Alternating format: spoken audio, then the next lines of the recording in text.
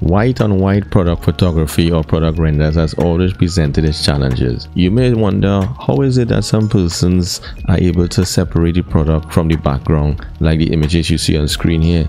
These are good examples of white on white product photography. In your render or your product image, it might come out like this where it looks really nice but there's a slight problem. If we look to the top left of this image, it's very difficult to differentiate the product from the background. So in this video, I'm going to show you exactly how you're able to overcome that problem and render white on white product renders in Blender. For those who don't know me, my name is Denzel Modeste and I'm a professional product photographer who has been using Blender for the past 4 years to create product renders. So let me show you in Blender how you achieve this all right well as usual this is my scene setup on the left hand side here where uh, i have my camera and it's in rendered view and there are no lights. All right you will know that from previous videos. We add lights deliberately. And this is my cosmetic uh, tube that i modeled if it is that you want a tutorial on that uh, let me know in the in the comments and i'll see what i could do. All right so the first thing we want to do is create a nice little uh, light to the back. So I already enabled this one. I name it back wall, created a plane. I name it back wall. All right. And so select the back wall and let's now, let's give it a, let's give it a shader, an emission shader. And let's plug this in here. So problem number one, let's scroll in and see what's the problem. You notice that the light from the background here, it bleeds onto the, the product. And the first thing when you're photographing white on white you don't want the background the backlight to bleed onto the edges because in order to get professional looking white on white you have to be able to have that separation from the back to the front and it starts here. All right? So typically what we'll do is press gy and move it all the way back that's what I mentioned in previous videos, but we're using a 3D software. In real, we'll have to do that to get some more real estate so that the light will be far back. But since we're using a 3D software, we could manipulate this without having to do that. So with the plane selected, uh, click on object properties and scroll down to where it says ray visibility and turn off the ray visibility, the diffuse and the glossy. All right. And so we have solved that problem. So we have our white background there and it's not affecting the, the product nor the, the, the objects around. But there's a second problem. I took a render of this and brought it into Photoshop and I realized that this this background is not totally white.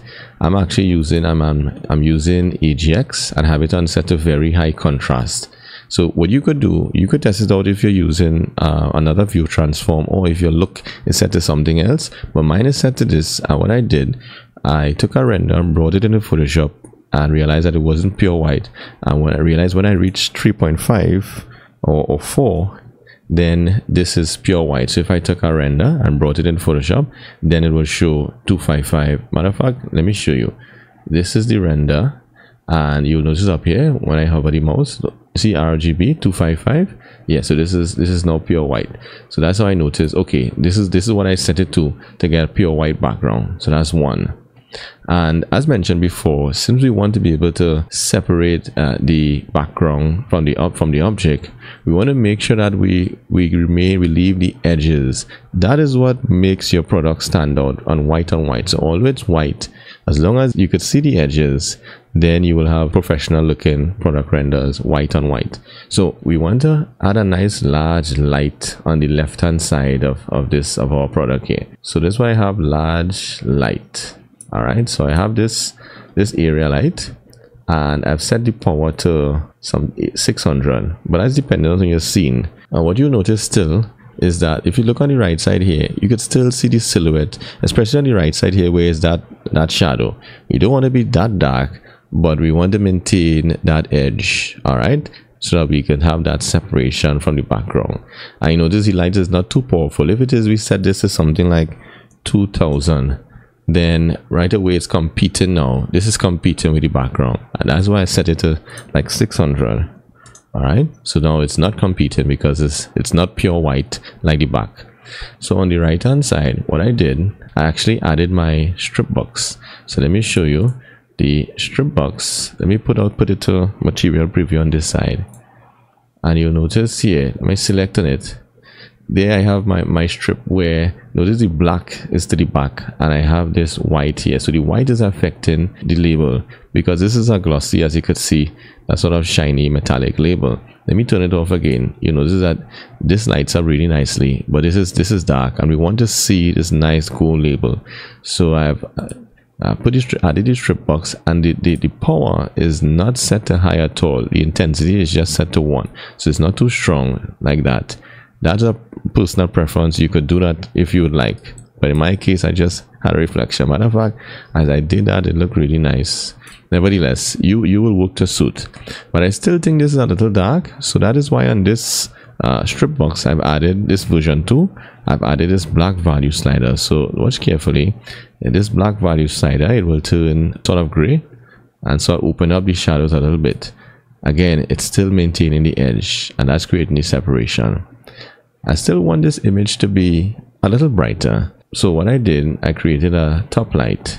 And this top light just filled this a little bit. Now it didn't take away none of the shadows neither the top here because let me scroll in because we've seen those ridges really nicely. Let me turn it off and turn it on. Just let the top there but it, it, it just filled the scene make it a little brighter. And if you wanted to make it even more area we have to pay attention. As long as we don't lose the edges I, I i've added a bounce below and in this case it, it just filled the scene really nicely. We could do that or let me show you another option. So we could turn off that bounce below and with this play in the background selected what i did i actually created this this gradient to the back. Uh, it's easy now. If i plug this gradient here the middle here is a little brighter so if i if i turn it up you see you see the difference. Or i should matter of fact i should increase the black on this so you could see the difference in that in that gradient. All right? And of course i could you could manipulate manipulate this here. And that's how you could create your gradient. But that is optional. This video is focusing on on the white on white all right so i have the, the bounce to the bottom there. It fills that scene really nicely. So let me recap again because this is our final render. We could press f12 and we'll have a nice render. But let me recap and I will add the lights a little differently so you see that nowhere along the way did we lose our edge. So if I enable the back wall all right remember there's no bleed on the edge. And if I if I add the strip box to the right you notice that it just lights the side but we still have that that dark edge there.